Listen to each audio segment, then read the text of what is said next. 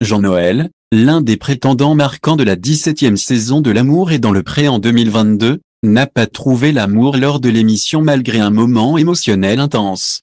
Il avait alors partagé un court moment avec Alain, l'agriculteur qui avait décidé d'accueillir directement ses prétendants à la ferme parce qu'il avait contracté le Covid-19 avant le tournage des speed dating.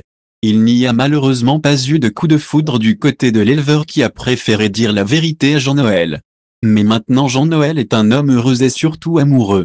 L'ex-prétendant d'Alain, dans la saison 17 de L'amour et dans le pré, a dévoilé un tendre cliché de lui et de son compagnon sur son compte Instagram.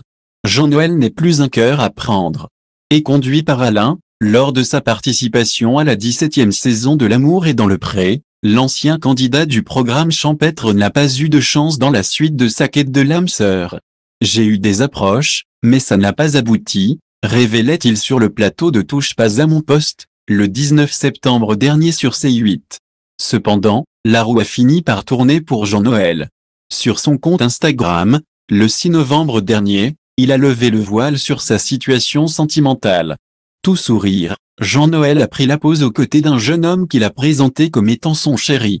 Petite promenade avec mon chéri au château de Chantilly, a-t-il écrit en légende un adorable cliché. Depuis cette présentation officielle, Jean-Noël partage les moindres instants de bonheur partagés avec son nouveau compagnon. Une relation qui a très vite été pointée du doigt en raison de la différence d'âge entre les deux hommes. Des critiques dont l'ex-candidat du programme champêtre n'a que faire. Ce samedi 18 novembre, le quinca a dévoilé une nouvelle photo de lui et de son cher et tendre. Le temps d'un selfie, il pose un tendre bisou sur la joue de celui qui fait battre son cœur.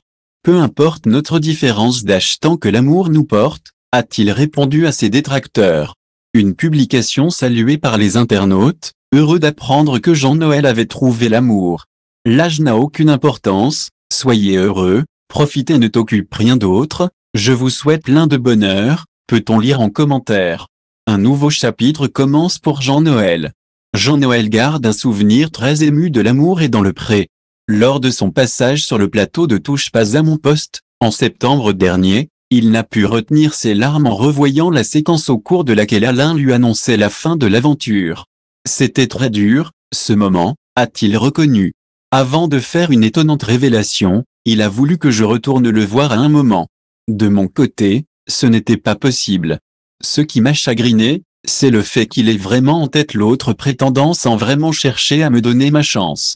Une confidence en émenant une autre, Jean-Noël est ensuite revenu sur une remarque blessante qu'a faite Alain. Ce qui m'a chagriné, c'est quand il a dit, au bilan, que ce qui le dérangeait, c'était mon problème de dents, révélait Jean-Noël.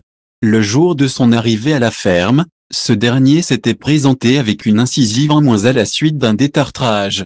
Face à Karine le marchand, l'éleveur de veaux avait qualifié la dentition de son prétendant de catastrophe. Un désagrément que Jean-Noël a aujourd'hui corrigé.